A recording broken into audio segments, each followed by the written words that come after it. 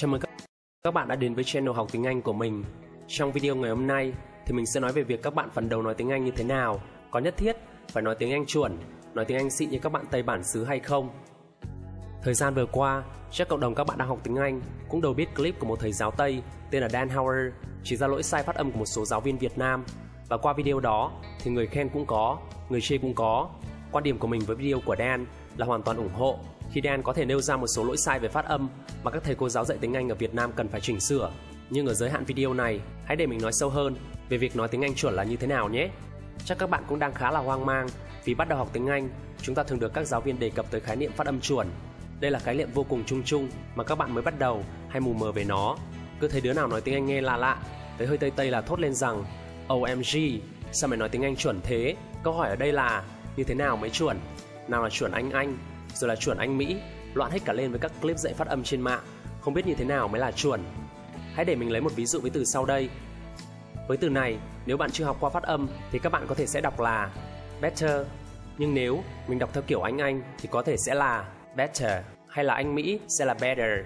Giả sử mình có đọc là better thì người nước ngoài, người bản xứ vẫn hiểu. Ví dụ như I want to be better. Có thể với từ này đơn giản, nhưng hãy để mình nói với các bạn điều này Đừng quá quan trọng việc nói tiếng Anh phải chuẩn mới được. Các bạn hãy tưởng tượng như thế này, Việt Nam mình có bạn nói giọng Bắc, có bạn nói giọng Nam, lại có bạn nói giọng miền Trung. Chắc là giọng Bắc sẽ là giọng chuẩn. Ví dụ như Dan Hauer nói giọng Bắc của mình. Điều này không hẳn đúng, vì vẫn có nhiều bạn Tây đang sinh sống tại thành phố Hồ Chí Minh và họ nói tiếng Việt rất giỏi.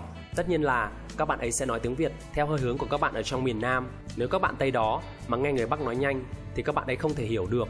Nhưng với cá nhân mình thì mình vẫn thấy các bạn ấy nói tiếng Việt rất siêu Siêu ở đây có nghĩa là bạn Tây ấy có thể nói rõ ràng, chúng ta là người Việt, ở Bắc Trung Nam đều có thể hiểu được bạn Tây đó nói gì và kể cả bạn ấy có ngọng líu ngọng nô đi chăng nữa. Tương tự với việc học tiếng Anh của chúng ta cũng thế, các bạn đừng quá quan trọng phải chuẩn theo kiểu này kiểu kia làm gì cả. Ví dụ, các bạn muốn nói tiếng Anh theo giọng Mỹ chẳng hạn, nhưng các bạn nên hiểu rằng ở bên Mỹ cũng có các vùng khác nhau mà mỗi vùng lại nói tiếng Anh theo kiểu một giọng điệu khác nhau.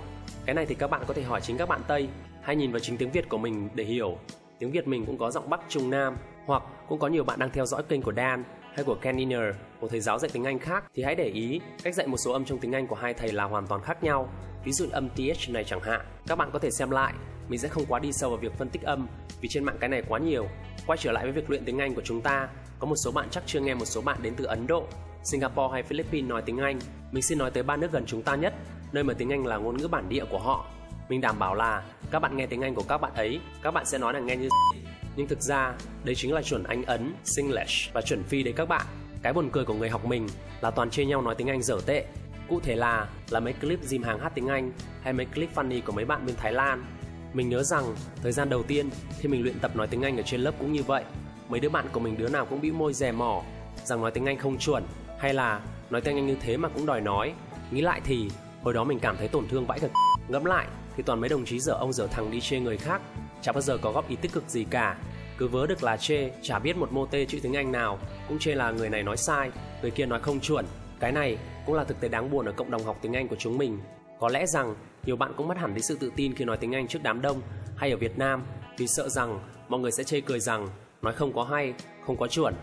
Tệ hơn là khi luyện tập mãi mà không nói được, có một số đồng chí còn mặc định nghĩ rằng mình sẽ không bao giờ nói tiếng anh được vì mình phát âm không chuẩn, không có năng khiếu hay không có giống mấy bạn Mỹ, mấy bạn bên Úc. Thực ra thì không nhất thiết phải như vậy. Nhất là clip gần đây, một số thầy cô giáo ở một số trung tâm ngoại ngữ phát âm chưa chính xác một số chỗ.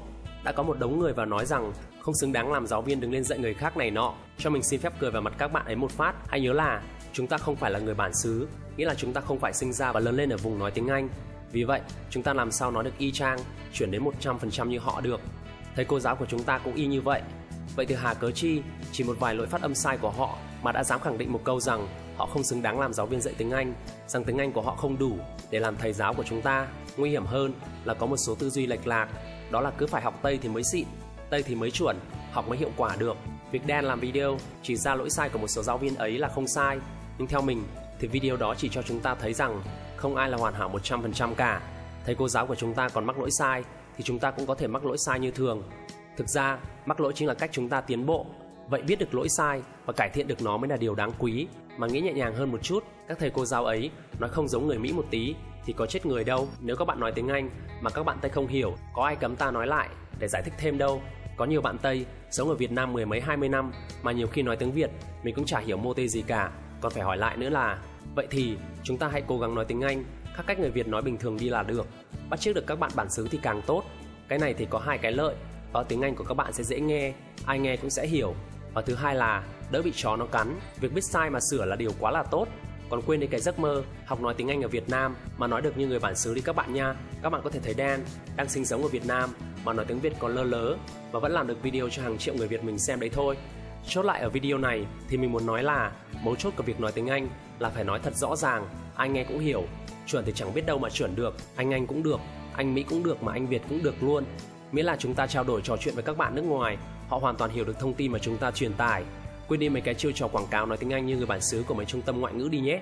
Việc chúng ta cần làm đó là tập trung luyện phát âm, luyện giọng nói thật rõ ràng dễ nghe và quan trọng nhất là hãy dành thời gian thực hành thật nhiều và lắng nghe góp ý từ mọi người, nhất là các bạn Tây bản xứ và nhớ rằng hãy đừng ngại mắc lỗi sai nhé các bạn. Rồi, video ngày hôm nay đến đây là kết thúc. Các bạn hãy mạnh dạn comment ở phía dưới để chúng ta có thể thảo luận thêm, giúp việc học tiếng Anh của chúng ta trở nên dễ dàng hơn nhé. Cảm ơn các bạn đã xem video này và hẹn gặp lại các bạn trong video chia sẻ một số điều về tiếng Anh tiếp theo. See you and bye bye.